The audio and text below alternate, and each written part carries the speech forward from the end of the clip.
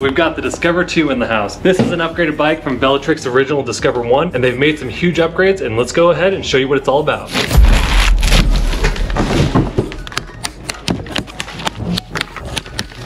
They always have awesome packaging when it comes to electric bikes. Manuals and tools, some pedals, accessories, color display, which is an upgrade.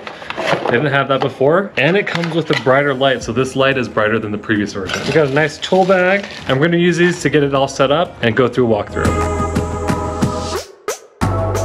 That was a pretty easy setup, so let's go ahead and show you around. It's got these swooped handlebars, Tektro hydraulic brake levers, 8-speed Shimano shifter, nice ring and bell. Now this is a color display, which is nice and crisp, has app connectivity, and also Apple Find My. Brighter light with 130 lux of light. Left side has a thumb throttle, control module, and then you also have these nice grips that we saw on the Velotric Fold. Most bikes come with a USB-A charge port. This one comes with a USB-C charge port, which is the first one I've ever seen on an e-bike. Moving down the front, you have hydraulic suspension with 80 millimeters of travel, metal fender, 27 and a half inch by 2.4 inch Kenda tire, 180 millimeter brake disc with two piston Tektro hydraulic brakes. You have a 48 volt, 14.7 amp hour battery that is integrated into the frame, and it's also IPX7 rating for the battery. The full bike itself is an IPX6 water resistance rating. To remove it, you just twist it and it pops right out. So this is a 48 volt, 14.7 amp hour battery. The charger is a 3 amp output charger, so this should take you a little bit under 5 hours to charge from empty to full. You have the Apple Find My located in the base of it, so this can help you recover your bike if you ever have it stolen. Right below the Apple Find My, you have a torque sensor, which is an upgrade from the cadence sensor on the Discover 1. Plastic pedals. Moving to the rear, you have a rear rack with 66 pound weight capacity, metal fender, a rear light that actually acts as a brake light and has turn signals in it, another 27 and a half inch by 2.4 inch Kenda tire, 8 speed Shimano cassette, Shimano Altus derailleur, a 750 watt motor with a peak output of 1100 watts and 70 newton meters of torque. On the other side, you have 180 millimeter brake disc with two piston Tektro hydraulic brakes. Overall, a lot of upgrades from the previous version. So we're gonna go ahead and get this freshly charged, take this out for a spin, tell you what we love about it, what we hate about it, and should you buy the Velotric Discover 2.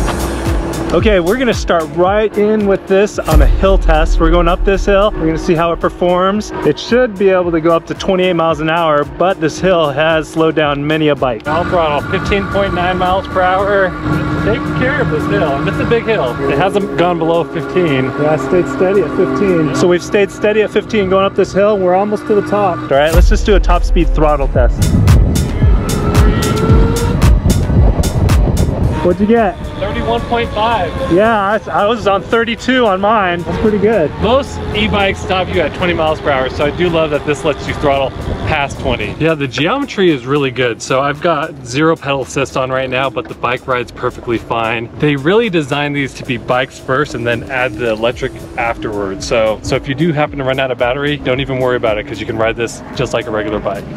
Okay, let's talk about the things that we like about the Velotric Discover 2. For me, it's the torque sensor. I love that they've added a torque sensor and it makes you feel like you have superhuman powers rather than just the bike doing all the work for you. They've always done a really good job with their paint choices and the color options. This is no different. We have two colors with us. This is the crimson red, which has a really nice sparkle to it, looks really sharp, and then the gray looks really good too. It also has cool features such as Apple Find My. If you use an iPhone, you'll be able to track this just like when you lose your AirPods or when you lose your AirTags. On top of that tech, it has a Bluetooth app where you can adjust all the settings. I also love that it's connected to the beautiful color display. This thing is really crisp, easy to read in direct sunlight, even with polarized sunglasses on. We're able to go up that hill, no problems, and then throttle only, going up to 30, 31, 32 miles an hour. That is pretty impressive. Very nice that it's plug and play. When I say plug and play, that means you can actually just plug and replace different components as they need upgrading or as they fail. What we had with one of the bikes was a unit that didn't work. Velotric was great at sending us a new unit and then replacing it couldn't have been easier. So props to Velotric for the responsiveness and for making it so easy to repair and upgrade our bike.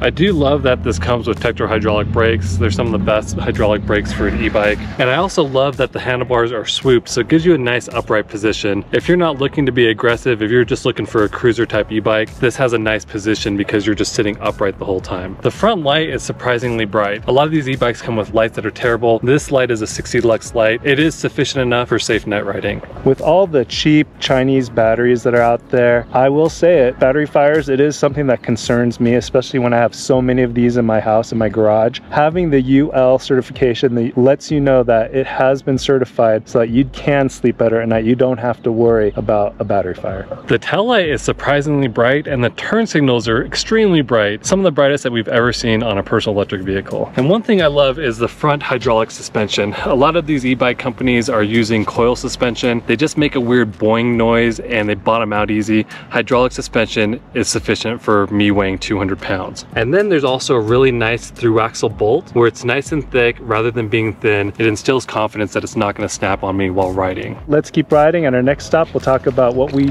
don't like about this bike. All right, I'm gonna go set up for the brake test now. Andrew's gonna be coming around about 20 miles an hour and then he's gonna brake hard. 20. About 22 feet. The tires on this are a little bit of a harder compound. They work perfectly fine for me when I'm just riding, but when you go to stop, you do notice that the harder compound will slide out a little bit more than a softer compound tire. Okay, let's talk about what we don't like about the Velotric Discover 2. For me, the biggest issue is that you can't really use Apple Find My if you use an Android phone. You technically can log in from your phone, but you have to use an iPhone to set it up. So if you don't have an iPhone or don't have access to it, you can't get it set up to begin with. It's just an extra step to be able to track the bike if it does get stolen or lost. The other thing for me is the Bluetooth app is really nice to have, but everything that you can control from the Bluetooth app can be controlled from the display. So it's kind of unnecessary and I don't think it's really needed. I wish they would have spent a little bit more money on making something that can be tracked by both the iPhone and an Android phone. It's a little bit of a spaghetti mess up in front. I'd like to see this with a little bit more cable wrap to clean that up. I love that I can throttle to 32 miles per hour, but I hate that I can't throttle in pedal assist zero. I just wish I could ride the bike like a traditional bike, and when I want to use some throttle, I can, but I can't because pedal assist zero does not allow me to do that. I love that you can get all sorts of different types of accessories for the bike, but the front basket, it really makes the brake line get a strain on it. So on the gray bike that we have, we have the front basket on there. You can't really run the brake line through the basket, so it has to be on the edge. And so it just sticks out like this and creates a weird tension when you go to turn the bike. You can go from Eco Trail to Boost and have five different pedal assist levels in all three of those settings. But one thing that's really annoying is my throttle speed is dictated off of my pedal assist level. So if I'm in pedal assist one, I can't reach the full potential of the throttle. I have to be all the way in pedal assist five, which makes it annoying if I'm just trying to cruise around, have a little bit of assistance, and just use the throttle to get out of a sticky situation or go up a hill. At $16.99. Okay, this is Jimmy from the future, and unfortunately, between the time when we recorded this video to now, the government has instituted new tariffs, and so e-bike prices across the board are going up in prices. When we reviewed this, it was $16.99 and now it is actually more. I think it's $18.50. Still a great price, but just let you know, prices of e-bikes everywhere going up because of these new tariffs. The price I think is a fair price and if you want an additional discount you can get $60 off using our code below. So those are the things that we don't like about the Velotric Discover 2. Certainly a really good bike that they've made a lot of improvements and upgrades. We're going to keep riding and while we ride we're going to talk about who we think should buy this bike. There is one other thing that I did want to mention. The front suspension is great because it's hydraulic but the design of the metal fender right below it, it does cause you to hit the fender when you go off and compress the suspension. If you're going off curb, just plan on knowing that the suspension will cause the fender to hit the frame or the fork and you'll get a little bit of a clanging noise.